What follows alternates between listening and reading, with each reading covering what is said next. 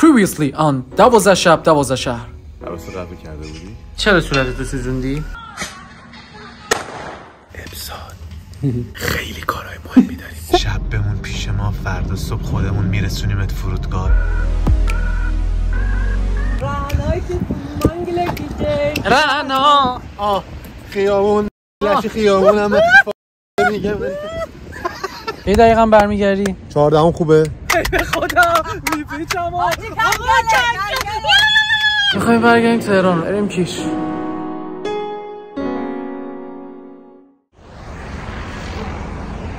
تهران. خانه و کاشانه. به موها میشه خب رسیم تهران. یه چند ساعت میریم استراحت می‌کنیم. ساعت سه چهار پروازه. نمی‌دونم اصلا صدا میاد یا نه. گوشم گرفته. اینقدر تو ماشین اولین بار بعد یه هفته است که اومدم خونه. یه هفته است اصلا رنگ خونه رو ندیده بودم. و احتمال خیلی خیلی خیلی خیلی زیاد. دو ساعت میخوابم بقیهش رو تدوین می‌زنم که پست بذارم واسهتون و دوباره سه چهار باید برم فرودگاه. الان کلی حرف دارم باهاتون. کلی کار دارم هنوز.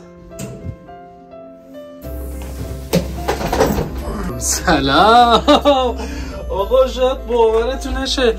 یه دو سه ساعتی خوابی خوابید که اصلا رفتم تو کما دور از رابطه ولی تو خودم می‌خوام بگم دور از جون. یه دو ساعتی و سفت خوابیدم بعد پا شدم. تدوینم زدم البته تموم نشد. ولی لپتاپم نیوردم. چون همین امروز ساکم عوض کردم ساک کوچیک‌تر براشم وسایل کمتر براشم. چون که امروز میریم فردا هم برمیگردیم. تهران کنسرت فردامون هم لغو شده ولی باز دوباره تو تهران کارتون دارم. یعنی 12 شب 12 شهر دیگه. تهران هم یه شهر تو تهران هم پس باید ویدیو بگیرم. الان بریم کیش کنسرت امشب بزنیم ببینیم چه خبره. بیا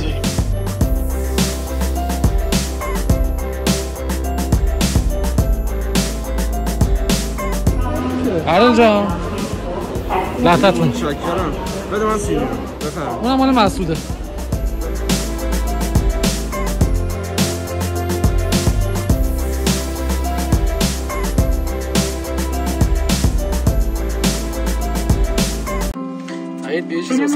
بخشنده مهربان. به نام یزدان پاک پروردگار آسمان و زمین. بعداً تعریف. با تعریف. آغاز می‌کنیم.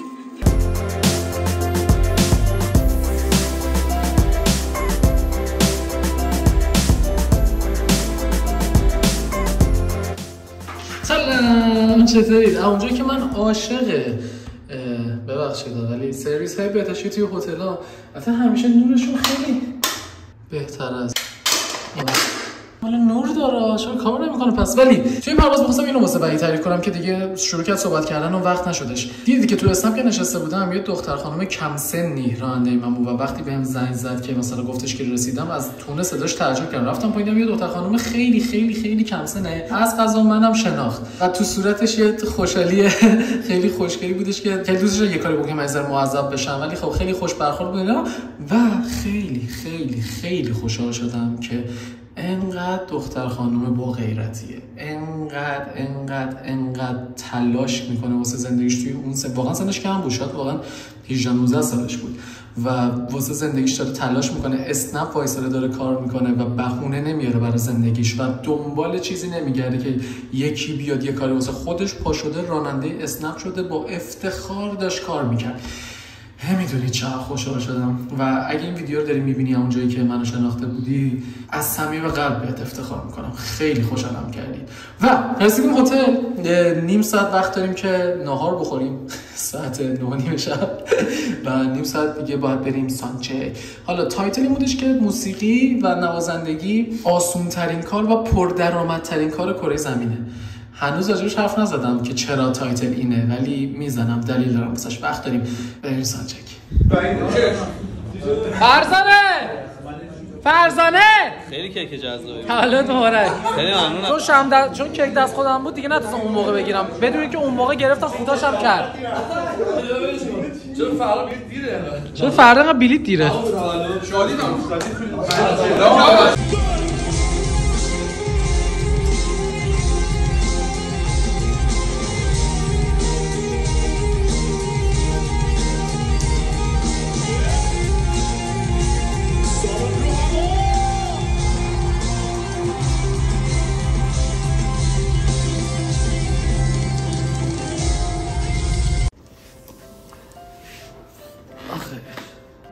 خب که کنسرت و نوازندگی کلا گفتن که پردرآمدترین و راحتترین شغل جهان بود. حالا تا اینجاش خیلی راجع به این قضیه صحبت نکردم ولی تازه اینجا یه قضیه می‌خوام صحبت کنم. رسید دیشب رفتیم کنسرت رو زدیم اومدیم خوابیدیم. امروز پروازمونه. امروز هم اه، کجا کنسرت داشتیم که لغو شد؟ انزلی. انزلی. انزلی کنسرت داشتیم که لغو شد. واسه برمیگردیم تهران. ولی ساعت 6 تازه پروازمونه. احتمالاً 9 شب برسیم تهران.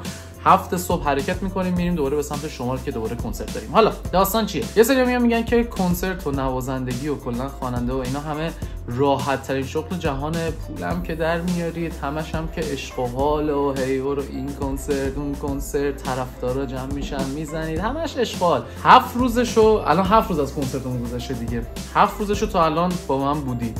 و این همون اون راحت هست به نظرتون واقعا. یعنی این مادام توی سفر بودنه و همش از این شهر به اون شهر رفتن هر شب دو تا سانس اجرا کردن واقعا فکر نمی کنم اون کار راحته که تو ذهن مردم باشه فکر کنید. و تازه تازه تازه تمام اینا چیزایی که الان شما دارید روی صحنه می‌بینید. هر نوازنده هر خواننده هر کسی که داره روی اون استیج کار می‌کنه background ش سالها تلاش بوده. یعنی شما یه شب میای طرف رو می‌بینی می‌بینی یه چیزی زد خوشت اومد. پشت سر اون یه شب سالها تمرین بوده سالها درس خوندن بوده سالها تلاش بوده سالها اینکه خودش از تمام تفریحات زندگیش منع کنه بوده و خیلی اتفاقای دیگه. یعنی فقط به اون یه شب خلاصه نمیشه. ولی اصلا بیا به همون یه شب هم خلاصش بکنیم. اینکه هر شب الان از این شهر بریم اون شهر از این شهر بیای این شهر اینجا دو تا سانس بزنی بری اون شهر دو تا سانس بزنی بیای اینور. این خودش خستگی داره کوفتگی داره و چیزی به اسم عشق و حال دیگه وجود نداره. آره روی stage بودن حال میده. وقتی مردم رو می‌بینی شور و اشتیاق مردم رو می‌بینی جیغ می‌زنن خوشحالن اون بهت حس خوبی میده. واسه همینه که با تمام این خستگیه قول میدم رسوله. شرط ببندیم رسوله. واسه این با تمام خستگی وقتی روی stage حالمون خوبه. به این علت حالمون خوبه چون مردم عشق میدن بهمون. رسوله! عشق کردی. شروع نکردم ویدیو رو تا بیای. بیا یه سلام کن. بیا محتوی یه سلام کن. میگن موسیقی پردرآمدترین و راحت ترین شغل جهان. چقدر نیست. خب آها. ما ما تاپیک نوشتیم جهانه ولی توش داریم توضیح میدیم که جهان نیست. نیست. چیه شما؟ فکر می‌کنم که هر کاری سختی خودشو داره و اینکه اگه عاشق این کار نباشی واقعا نمی‌تونی حتی یه روز انجامش بدی چون سختیاش خیلی بیشتر از لذتشه. جدی میگم. رفت و آمد مسیر. به هر حال شخصیت های مختلف کنار هم در قالب یه ارکستر بخوان کار بکنن. بعد کار گروهی تو ایران ضعیف ترین تیم ورک آره واقعاً تیم ورک ضعیف سخت‌ترین کار دنیاست. شما چی؟ کار. این چیزی که دارید می‌بینید حالا من همیشه گفتم دیگه نتیجه 20 سال تمرین. آفرین. واقعا 20 سال تمرین و ما داریم میاریم روی استیج بعد همه میگن عشق و حال. نه سختیشو قبلا کشیدیم. آفرین. از نظر درآمدم فکر می‌کنم که حالا هر چقدر درآمدمون باشه ولی خیلی باز حقمون بیشتر از ایناست. خیلی. نکات کنکوری ها اینا اینا رو یادداشت کنین این نکات همه نکات کنکوریه. اینا بله. آی دبا شما نظرتون چیه؟ والا ما که هر وقت از کنسرت میایم هر کی ما رو می‌بینه خب اشکان جان خوش گذشت. ایشالله که همیشه خوش باشی. این جمله بیشتر آدم اذیت می‌کنه. خوش گذشته. خوش نمیگم خب خسته نباشی فلان. خوش گذشت. خب ایشالله که همیشه خو... ایشالله همیشه به سفر. می‌دونی این رو اینو اگه درک کنه ببین تو اینکه حالا ما خودمون انتخاب کردیم این شغل و خیلی هم باش حال می‌کنیم تو این شکی نیست. منتها سختی کاره. سختی داره. ما رو تفریح نمیایم حالا تو میایم رو استیج میخندیم انرژی میدیم و اینا به کنار. باید اینجوری باشه چون جز از- از شغل ماست ولی کار واقعا سختیه و این جمله ها ما را نیازارید. لط- لطفا. هشدار که آسایش ما رو نخراشید. نخراشید. نخراشید. ولی درآمدش هم خوبه. بد نیست که مثلا می‌تونی شغلای دیگه تو باید نگاه کنی یه کار تخصصی ما داریم انجام میدیم. تو برسونی به اون لولی که آه، همینو می‌خوام ببین، من بگم. خودم کسی هم که کارهای دیگه تو زندگیم انجام دادم خب؟ درآمدش بد نیست نمیگم بده خوبه ولی ما باید نگاه کنیم. که الان مثلا یه گیتاریست مثلا مثل ایمان مثلا آقا اصلا نمی‌خوام تعریف کنم جز 20 تا گیتاریسته جز 20 تا نوازنده الکتریک ایران هست یا نیست. شما اگه تو کار خودتون جز 20 نفر اول باشین چقدر درآمدتونه. حالا هر شغلی بعد ببینید یه نوازنده چقدر درآمدش احسن. این زیبا بود. این زیبا یعنی اگه به کلا تو هر شغلی یا تو هر شغلی اگه بتونی به اون تاپ یک لولش کشور. برسی شما توی کشور جز 20 نفر باشین آره خب ببین چقدر درام از شما اصلا چه تو هر کاری تو هر کار مثلا چه آهنگر باش ولی 20 آهنگر. برتر یک کشور باش ببین چقدر درام این واقعا زیبا برو بود. بالا این واقعا زیبا بود داره. میشه من این جمله رو قاب کنم نه. پس اگه تو هر شغلی تو بتونی جز اون 20 نفر اول باشی قطعا درآمدش هم درآمد خوبیه. پس ما انکار نمی‌کنیم. میگیم که حقمون باید بیشتر از این حرفا باشه.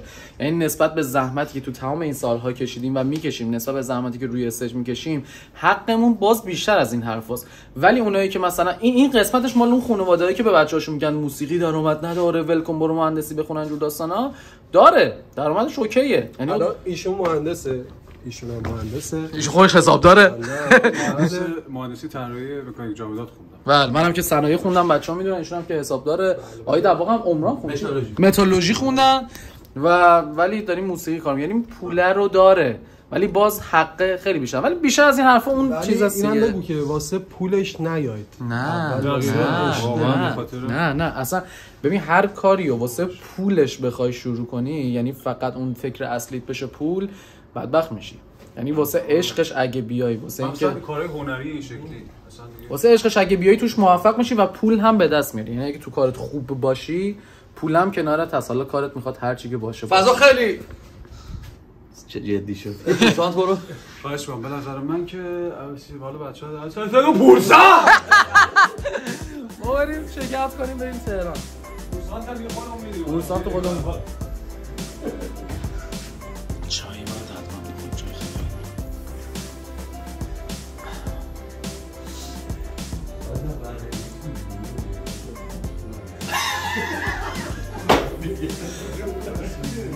عذر می‌خوام کی پخش میشه؟ از شبکه جهانی یوتیوب این متواصلی باز نگردم حتی چای ما نخورم نمی‌دونم.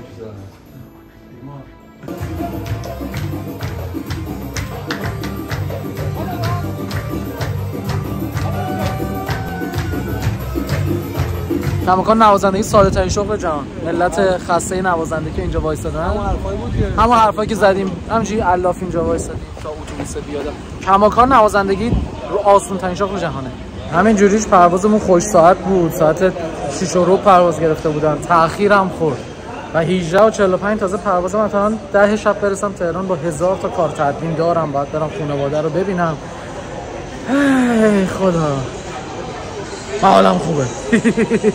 اصلا به دیگه ایمان جان رفت... رفتی توی در درسته؟ داستانش چیه؟ این در قرار زودتر باشه چون من ساز دارم یعنی هممون. اون زودتر بریم بالا وسایل رو بتونیم جا بذاریم. مشکل همیشگیه دیگه این. فقط بچه بیاید تو در که باز شد سریع بیاید. این هم یکی از اون خوشی ها و یکی از را در باز آره. نکنیم این مال من ها اینو باز نکن. این هم یکی از اون راحتیه کار آره، از نوازنده اون خوشگذرونی‌های که همیشه- نوازنده هست. همیشه تو هواپیما سر این سازمون چون اینا که نمی‌تونیم بریم تو بار. میشکنه. بعد با چی کنسرتو بزنیم؟ همیشه دعوا دعوا که نه ولی خب دوستان لطف ندارن بهمون. میگن ساستا وردا یا جای منه برگرد تو پوزیشنت.